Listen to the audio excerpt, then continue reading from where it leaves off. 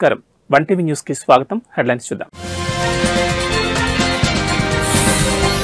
రక్షాబంధన్ సంబరాల్లో పాల్గొన్న కలెక్టర్ జితేష్ వి పాటిల్ దేశ సంస్కృతి జీవన తాత్వికతకు రాఖీ పండగ వేదికని వెల్లడి. వైసీపీలో కష్టపడే ప్రతి ఒక్కరికి గుర్తింపు. ఉభయ గోదావరి జిల్లాల regional coordinator MP Mithun Reddy వెల్లడి.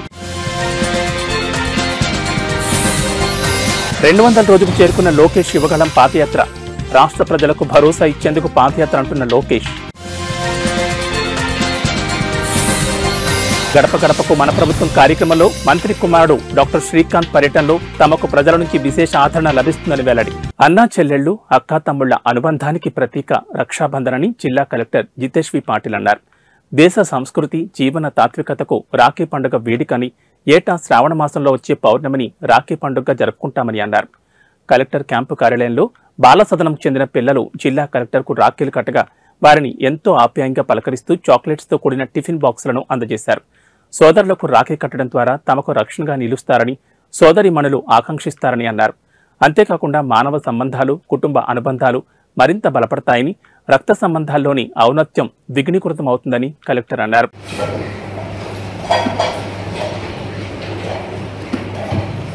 ఈ మెయిన్లీ అంతా ఆ రోజు very good very good thank you hi ఏం పేరు? మీ పేరమ్మా? గౌరీ కూర్చో. సత్య.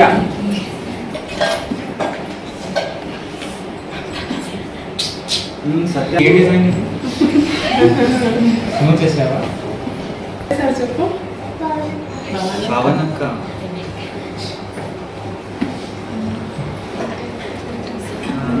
ఓకే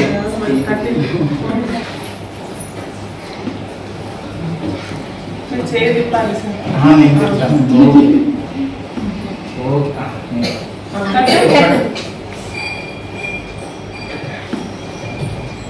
ఉమ్మడి పశ్చిమ గోదావరి జిల్లాలోని రిజిస్టార్లతో ఏపీ శాఖ ఐజీ ఆర్ అండ్ ఎస్ అధికారి వి రామకృష్ణ ఏలూరులోని గోదావరి సమావేశ మందిరంలో సమావేశం నిర్వహించారు. ప్రభుత్వం ప్రవేశపెట్టనున్న టూ పాయింట్ జీరో విధానంపై ఈ సందర్భంగా అవగాహన కల్పించారు. ప్రభుత్వం ఎంతో ముందు చూపుతో తీసుకొస్తున్న ఈ విధానం పట్ల ప్రతి ఒక్కరూ అవగాహనతో ఉండాలని గుర్తు చేశారు. ఈ కార్యక్రమంలో పలువురు ముఖ్య అధికారులు పాల్గొన్నారు.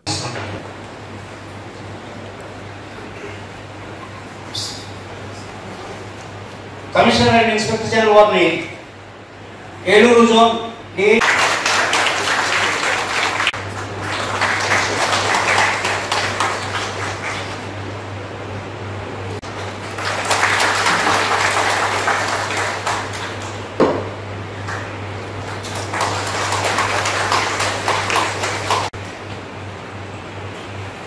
సిస్టంలో సో వీటన్నిటిని టెక్నాలజీ ఇంప్రూవ్ అవుతూ ఉంటుంది అలానే మన పబ్లిక్ యొక్క పబ్లిక్ యొక్క ఆస్పిరేషన్స్ కూడా ఇంప్రూవ్ అవుతుంటే వాళ్ళు మాకు వెంటనే కావాలి document why you are taking one day half day అనేది కూడా వాళ్ళ ఆస్పిరేషన్స్ పెరుగుతుంటాయి.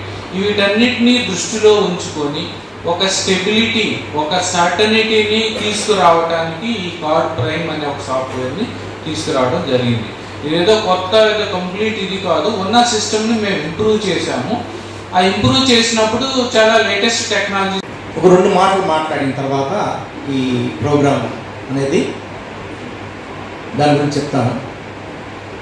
నేను డిపార్ట్మెంట్లో రిజిస్ట్రేషన్ స్టార్ట్ అయింది అప్పుడే.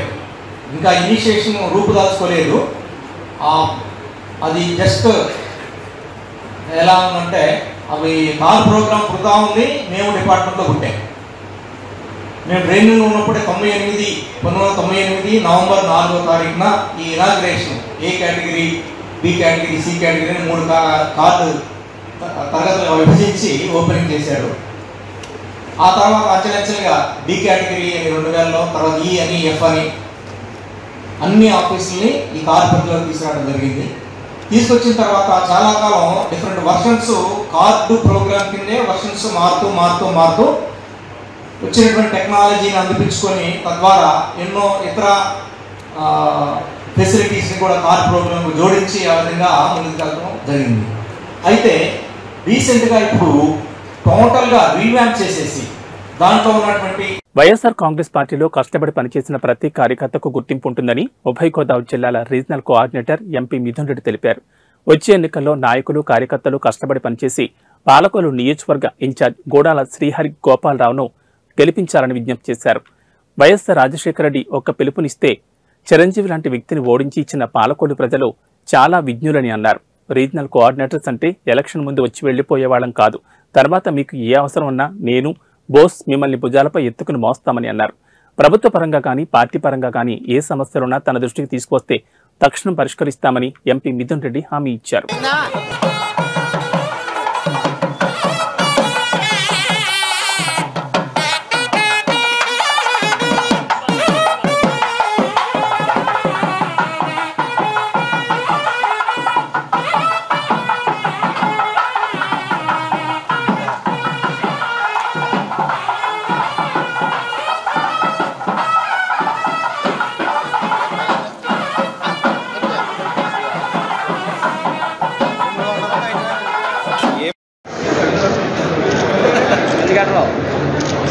జోహార్ డాక్టర్ వైఎస్ఆర్ జోహార్ డాక్టర్ వైఎస్ఆర్ జోహార్ డాక్టర్ వైఎస్ఆర్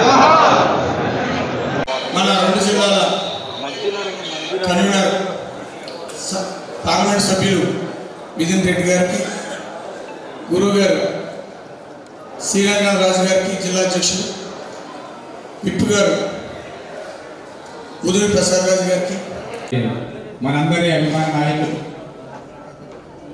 పాలకొల్లు నియోజకవర్గ కొత్తగా నియమించినటువంటి తమ్ముడు గుడాల గోపి గారు. ఈనాటి కార్యకర్తల మీటింగ్కి ముఖ్య అతిథులు. ఈ రాష్ట్రంలోనే మరి తెలిసిన ఇవన్నీ కూడా జగన్మోహన్ రెడ్డి గారే. మన మధ్యలో మరి ఏమి ఉండకూడదు. పార్టీ తల్లి లాంటిది. తల్లికి సేవ చేసే అదృష్టం ఇవాళ వైఎస్ఆర్ కాంగ్రెస్ పార్టీలో ఉంది మనందరి మీద కూడా. ఇవాళ గోపిగా ఇవాళ ఆలోచన చేయండి. మన నాయకుడు జగన్మోహన్ రెడ్డి గారు వచ్చిన తర్వాత ఈ రాష్ట్ర సంపద మొత్తం అన్ని కులాలకి మతం వర్గం ప్రాంతం ఆఖరి సన్నిధిలో చీఫ్ ప్రసాద్ రాజన్న గారికి ఎమ్మెల్సీలు కౌన్సీలర్కి సూర్యనారాయణ గారికి. నియోజకవర్గం అంటే మనసులో అందరు కూడా గుర్తొచ్చేది రాజశేఖర రెడ్డి గారు ఒక పిలుపిస్తే అంత బలమైన చిరంజీవి లాంటి నాయకుడినే ఓడించిన నియోజకవర్గము అంత బలమైన నాయకులు నియోజకవర్గము పాలకొల్లు నియోజకవర్గము. ముఖ్యంగా ఎప్పుడు ఇప్పుడు కూడా అందరూ కూడా ఆ ఎలక్షన్ గురించి మాట్లాడే పరిస్థితి మనం అందరం కూడా చూస్తాం. తర్వాత పెద్దలు చెప్పినట్లు రకరకాల కారణాలతో మనం ఈ నియోజకవర్గంలో పలు ఎలక్షన్లో మనం పార్టీ పెట్టిన తర్వాత గెలవలేకపోయినాం. మనం గెలవలేకపోయినాము అంటే ఓటర్లు లేక కాదు లేకపోతే బలమైన క్యాడరు నాయకులు లేక కాదు లేకపోతే ఇతరత్ర కారణాలు ఏమీ లేవు. ఒకే ఒక కారణము అందరు కూడా సమన్వయం చేసుకొని కష్ట ఆ సమిష్టిగా పనిచేయాల్సిన అవసరం ఉందని చెప్పి కూడా ఈరోజు మీకు అందరికి కూడా తెలియజేస్తాను. ఏ అవసరాలు ఉన్నా కూడా అవన్నీ కూడా లిస్ట్ అవుట్ చేసి అవన్నీ కూడా ఏ విధంగా సాల్వ్ చేయాలని చెప్పి కూడా ఇవన్నీ కూడా ప్లాన్ చేస్తామని చెప్పి కూడా మీకు తెలియజేస్తున్నాను ఏదో రీజనల్ కోఆర్డినేటర్లు అంటే రేపు ఆరు నెలలు ఎలక్షన్ తర్వాత మళ్ళీ కనపడకుండా పోయే పరిస్థితి ఉండదు. దాని తర్వాత కూడా మీకు న్యాయం చేసే బాధ్యత మా రీజనల్ కోఆర్డినేటర్ అని చెప్పి కూడా ఈరోజు రోజు మీకు తెలియజేస్తున్నాను మాకు ఏదైతే జగన్మోహన్ రెడ్డి గారు చెప్పారో మీరు గుర్తించండి పార్టీ కష్టపడే వాళ్ళందరూ కూడా న్యాయం చేయాల్సిన బాధ్యత మీదే అని చెప్పి కూడా మాకు ప్రతి మీటింగ్లో కూడా రీజనల్ కోఆర్డినేటర్లు అందరూ కూడా సీఎం గారు ప్రతిసారి కూడా మాకు దిశానిర్దేశం చేస్తూ ఉన్నారు.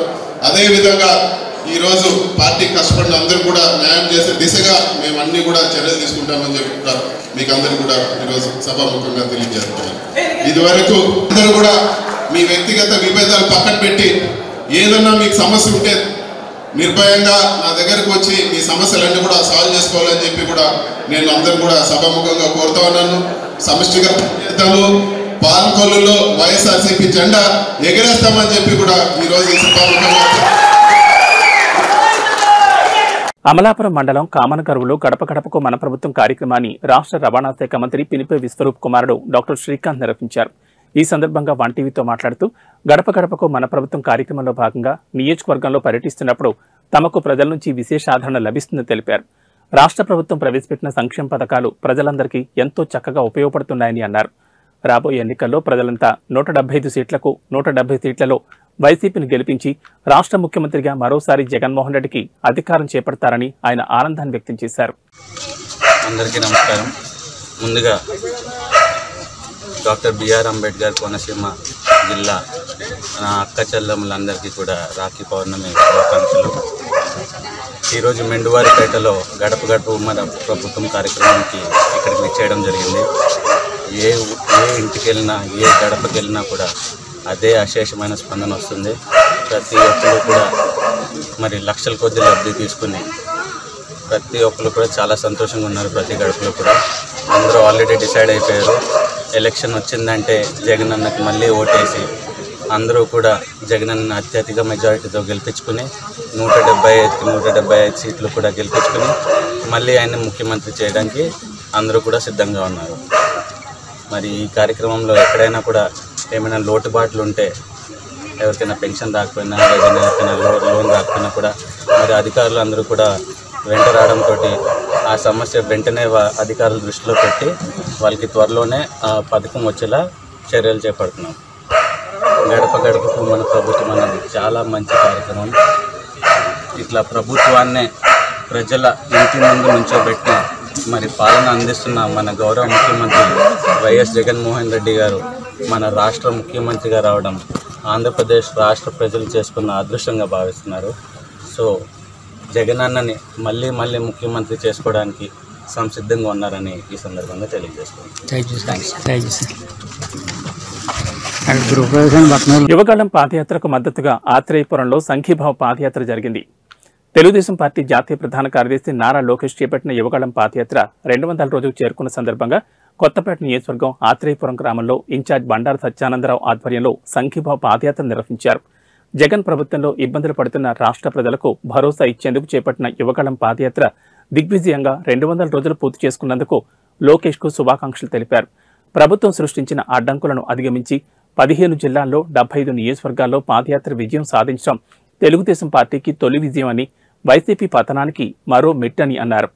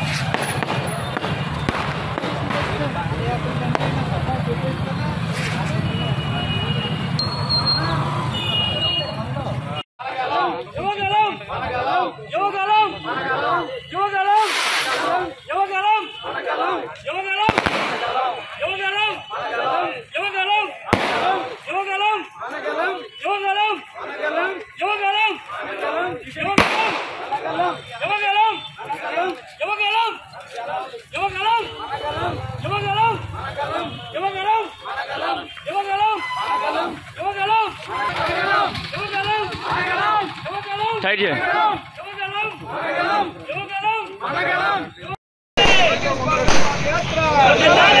బాబు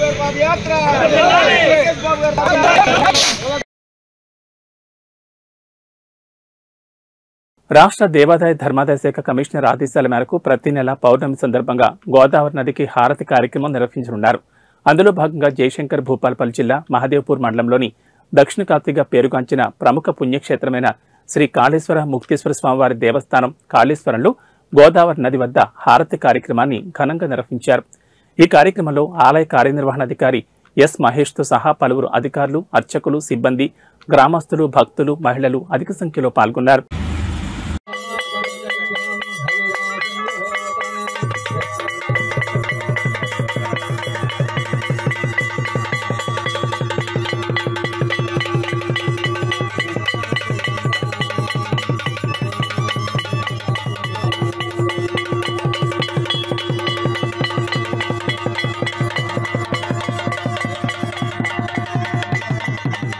నాగర్ కర్నూలు జిల్లాలో మర్రన్న పాదయాత్రలో భాగంగా నియోజకవర్గ గ్రామాలను పర్యటించి ప్రజల ఇబ్బందులు బీఆర్ఎస్ ప్రభుత్వం అందిస్తున్న సంక్షేమ పథకాల గురించి తెలుసుకున్నారు. ఇందులో భాగంగా ఒక వికలాంగుడు ఎమ్మెల్యే తమ గ్రామానికి చేకూర్చిన సంక్షేమ పథకాలను గుర్తు చేస్తూ తాను మీకు అభిమానినని తెలిపాడు. ఎమ్మెల్యే మీద ఉన్న అభిమానంతో పాదయాత్రలో భాగస్వామ్యం అయ్యానని తెలిపాడు. నిరంతరం మీకు ఏ సమస్య వచ్చినా నేను ఉంటానని మర్రన్న ప్రజలకు భరోసా ఇచ్చారు.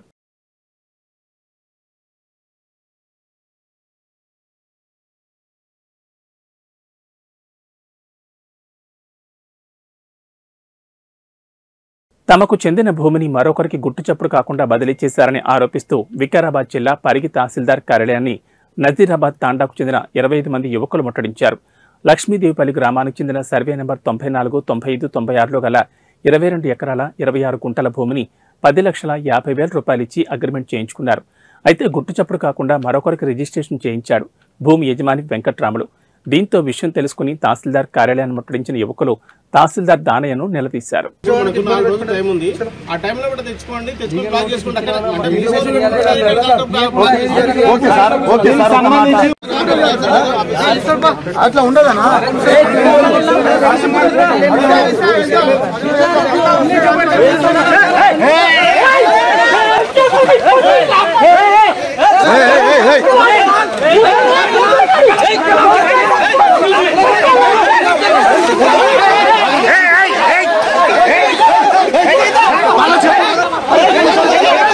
ఆ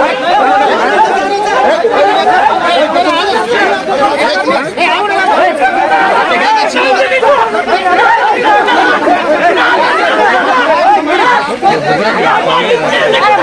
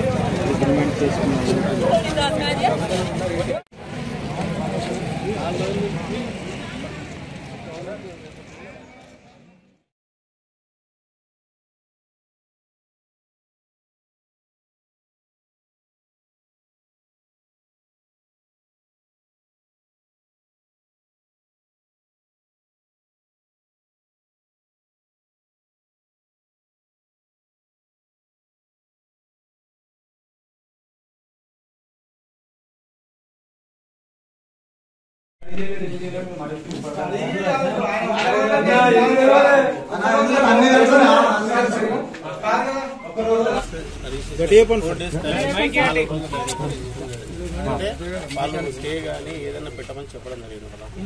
ఓనర్ ఇక్కడ రాలేడు రిజిస్ట్రేషన్ ఏ విధంగా చేసింది సార్ మీరు? వచ్చిండు. ఓనర్ రాలేడు. ఓనర్ రాలేడు.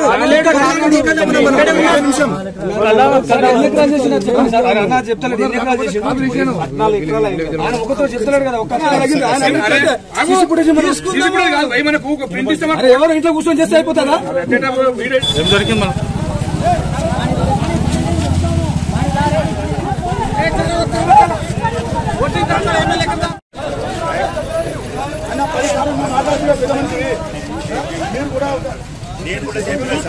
అయితే ఒకసారి స్లాట్ బుక్ చేసిన తర్వాత మనం క్యాన్సిల్ చేయడానికి కానీ ఆపడానికి కానీ ఉండదు. వాళ్ళు ఏం చేయాలి? స్లాట్ బుక్ చేసిన తర్వాత వాళ్ళు ఆ డాక్యుమెంట్ కోసం అప్లై చేసుకొని దాన్ని బ్లాకింగ్ కోసం పైకి మీసేవలో పెట్టుకొని బ్లాక్ చేసుకోవాలి. అంతకు మాత్రమే అది బ్లా అప్పుడైతేనే బ్లాక్ అవుతుంది అప్పుడు కోర్టు ఇంటిమేషన్ దాంట్లో ఉంటుంది కోర్టులో కేసు ఉందని చెప్పేసి వస్తుంది. కానీ నోటి మాట తోటి మేము ఆపండి ఆపండి అంటే నాకైతే ఆపడానికి లేదు. నోటీస్ ఇచ్చిండ్రు నోటీస్ ద్వారా నేను ఆపలేను కదా. లీగల్గా నాకు కోర్టు నుంచి ఆర్డర్ వస్తే మాత్రమే ఆపాలని.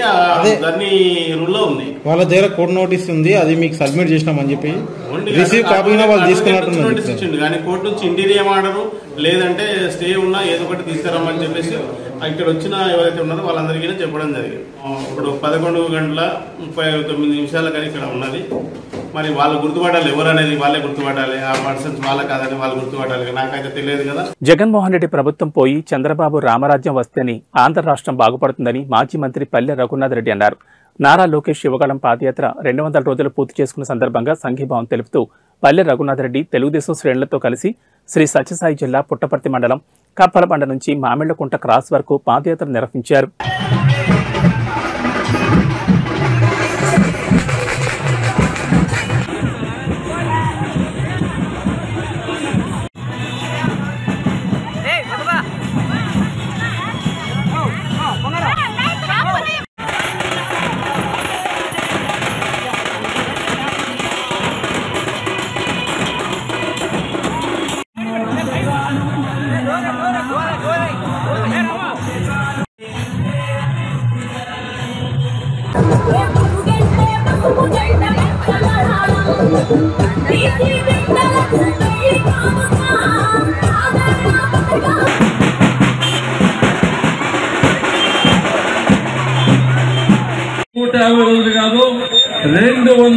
వందల దిగ్విజయంగా పూర్తి చేశానని చెప్పే సందర్భంగా గుర్తు చేస్తున్నాను తెలుగుదేశం పార్టీ జాతీయ ప్రధాన కార్యదర్శి మనందరి ప్రియతమ నాయకులు శ్రీ నారా లోకేష్ బాబు గారు పాదయాత్ర ప్రారంభించి రెండు వందల రోజులు పూర్తి చేశారు. దీనికి సంఘీభావంగా ఈరోజు పుట్టపర్తి నియోజకవర్గంలో కప్పలబండ నుంచి మామిలకుండ క్రాస్ వరకు మేము కూడా పాదయాత్ర జరపడం జరిగింది. లోకేష్ బాబు గారు జగన్మోహన్ రెడ్డి చేస్తున్న అరాచకాలు అక్రమాలు అన్యాయాలను దౌర్జన్యాలను ఈ ప్రభుత్వం యొక్క వైఫల్యాలను ప్రజల్లోకి తీసుకొని పోతున్నారు. ప్రజలు నిరాజనం పడుతున్నారు. ఈ రాష్ట్రంలో ఒక మార్పు తీసుకురావాలి. తిరుగు తెలుగుదేశం పార్టీ అధికారంలోకి వచ్చి ప్రజలకు సేవ చేయాలని ఓ మహాసంకల్పంతో పాదయాత్ర చేస్తున్నారు.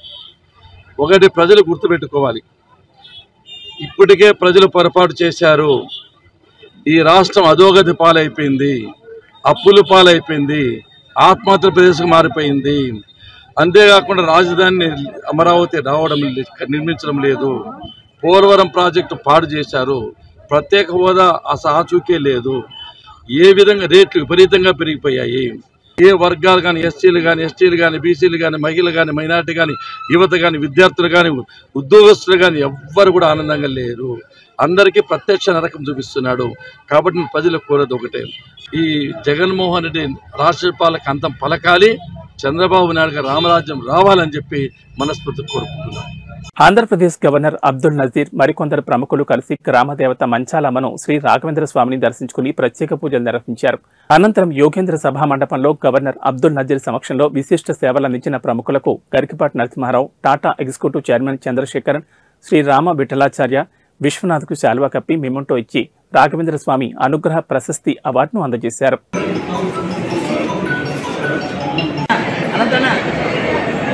సార్ ఒక సెకండ్ ఇక్కడ ఉండండి సార్.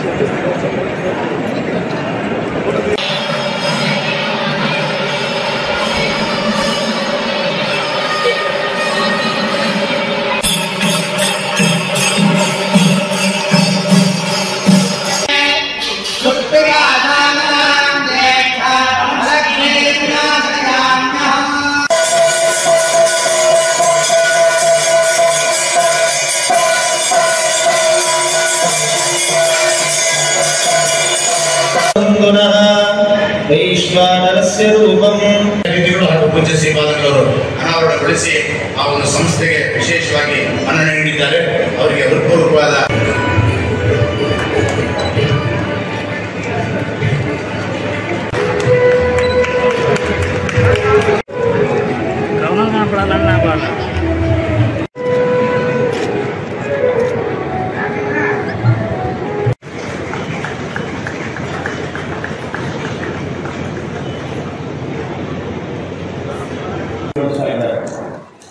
ಜಗನ್ಮಾನ್ಯರಾದ ಕಲಿಯುಗ ಕಾಮಧೇನು ಕಲ್ಪವೃಕ್ಷ ಸದೃಶರಾದ ಶ್ರೀ ರಾಯರು ಪ್ರಪಂಚ ಪ್ರಸಿದ್ಧರಾದ ಶ್ರೀ ರಾಘವೇಂದ್ರ ತೀರ್ಥ ಮುನ್ನೂರ ಐವತ್ತೆರಡನೇ ಆರಾಧನಾ ಮಹೋತ್ಸವದ ಪರಮ ಶುಭ ಸಂದರ್ಭದಲ್ಲಿ entity endowed with all attributes of divinity.